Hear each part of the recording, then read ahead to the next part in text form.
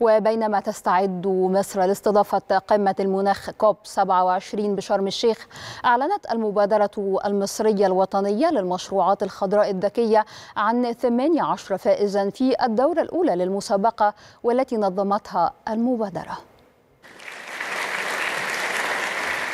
بينما تستعد مصر لاستقبال قادة دول العالم للمشاركة في قمة المناخ أعلنت المبادرة الوطنية للمشروعات الخضراء الذكية عن 18 مشروعا فائزا في الدورة الأولى للمسابقة التي نظمتها المبادرة. ضمت قائمة الفائزين ثلاثة مشروعات في الفئات الست التي تضمنتها المسابقة.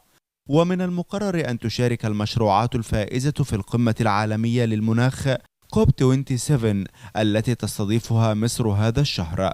لما بدأت الفكرة الحقيقة في هذا العام وبدأنا الخطوات التنظيمية لها وأعلنا عن اللجنة المسؤولة عن بدء تلقي المشروعات المقترحة. الكلام ده كله كان في شهر مايو فإحنا عندنا فترة زمنية لم تتجاوز الخمسة أشهر عشان المحافظات تتقدم ولجنة التحكيم تشتغل وتنهي كل إجراءاتها. فاللافت للنظر إن تقدم إلينا أكثر من 6281 مشروع.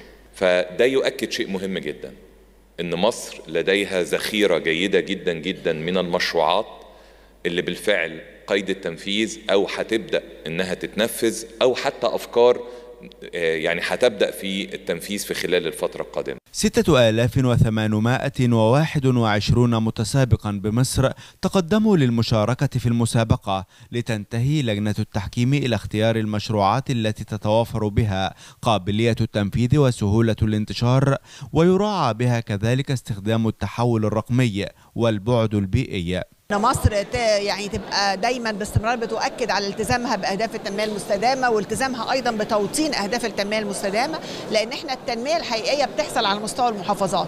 فدايما على المستوى المحلي ده فعلا التنمية الحقيقية. فإحنا بنؤكد على النهارده إنه إشراك كل فئات المجتمع إشراك المحليات إشراك السادة الجامعات المراكز البحثية القطاع الخاص المجتمع المدني. الفكرة في بدايتها؟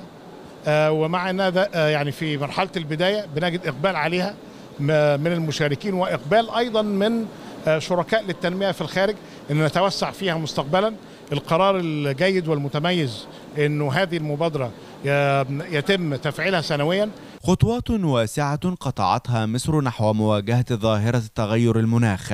من بينها المبادرة الوطنية للمشروعات الخضراء التي تأتي في إطار المساعي المصرية لتحقيق أهداف التنمية المستدامة والتحول الرقمي. محمد جمال القاهرة الإخبارية.